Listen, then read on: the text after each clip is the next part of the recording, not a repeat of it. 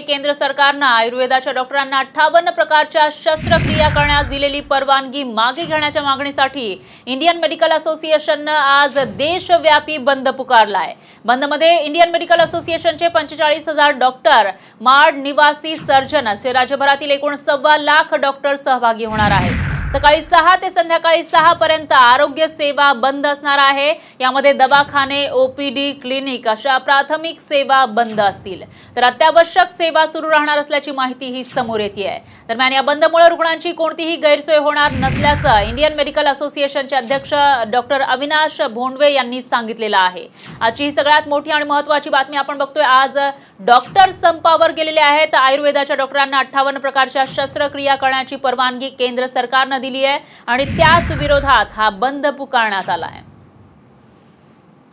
आयुर्वेदिक पदव्युत्तर विद्यार्थ्यांना ॲलोपॅथीमधल्या अठ्ठावन्न शस्त्रक्रिया करण्याची परवानगी आणि त्याचं तंत्रज्ञान त्यांना देण्यासाठीचा एक कोर्स सुरू करण्याचं जाहीर केलेलं आहे.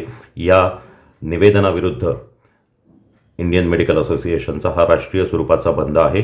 यामध्ये भारतभरातले साधारणतः आठ लाख डॉक्टर्स भाग घेणार आहेत.